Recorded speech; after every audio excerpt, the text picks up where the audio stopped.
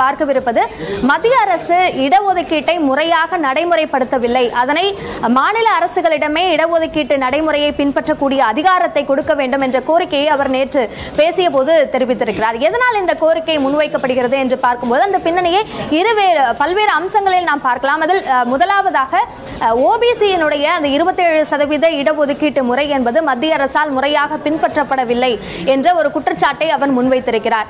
இதில் இன்னொரு முக்கியமான விஷயத்தையும் அவர் குறிப்பிடுகிறார்.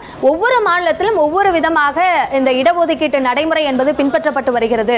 அதே போல் மத்திய அரசு வேறு வகையில் இந்த விஷயத்தை வந்து இடஒதுக்கீட்டு நடைமுறையை பின்பற்றுகிறார்கள். குறிப்பாக மத்திய அரசினுடைய இடஒதுக்கீட்டு நடைமுறைப்படி ஓபன் கேட்டகரியில் ஐம்பது சதவீதம் அதாவது நாற்பத்தி ஒன்பது புள்ளி ஐந்து சதவீதம் இருக்கிறது. அதற்கு பிறகு இருபத்தி ஏழு சதவீதம் ஓபிசி என்று ஒட்டுமொத்தமாக கொடுக்கிறார்கள். அதே போல் எஸ்சி எஸ்டி இவர்களுக்கான இடஒதுக்கீடு வழங்கப்படுகிறது. ஆனால் தமிழ்நாட்டை பொறுத்த வரைக்கும் அறுபத்தி ஒன்பது முப்பத்தோரு சதவீதம் என்ற வகையில் இடஒதுக்கீடு நடைமுறை பின்பற்றப்படுகிறது.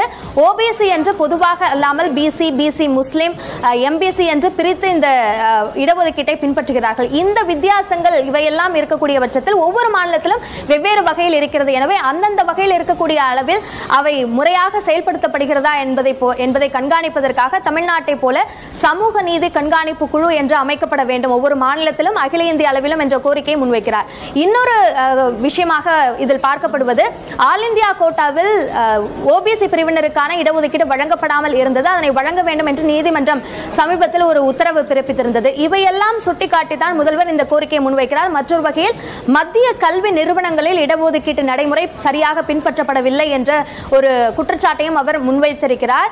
இதற்கு உதாரணமாக ஏற்கனவே சில தகவல் அறியும் உரிமை சட்டம் மூலமாக ஐஐடிகளில் அந்த இடஒதுக்கீட்டு நடைமுறையை மீறி பலர் அதிகமாக ஓபன் கேட்டகரியில் அதிகமாக பணியாற்றக்கூடிய ஒரு சூழல் இருப்பதையும் எஸ்சி எஸ்டி பிரிவில் இருக்கக்கூடிய அந்த பணியிடங்கள் முறையாக பின்பற்றப்படாமல் அதில் மிக குறைவானவர்களே பணியாற்றக்கூடிய ஒரு சூழல் இருப்பதையும் சுட்டிக்காட்டி பல்வேறு சமூக ஆர்வலர்கள் தரவுகளை வெளியிட்டிருந்தார்கள். எனவேதான் இப்படியான ஒரு கோரிக்கையை முதலமைச்சர் முன்வைத்திருக்கிறார். ஆனால் அது சாத்தியமா என்ற அடிப்படையில் பார்க்கும்போது நீதிமன்ற வழக்குகள் இவற்றையெல்லாம் கணக்கில் கொள்ள வேண்டியிருக்கிறது. இருந்தாலும் இந்த இடஒதுக்கீட்டு நடைமுறையை முறையாக பின்பற்றப்பட வேண்டியதன் அவசியம் நிச்சயமாக இருக்கிறது என்பதை மறுக்க முடியாது. அடுத்ததாக நாம்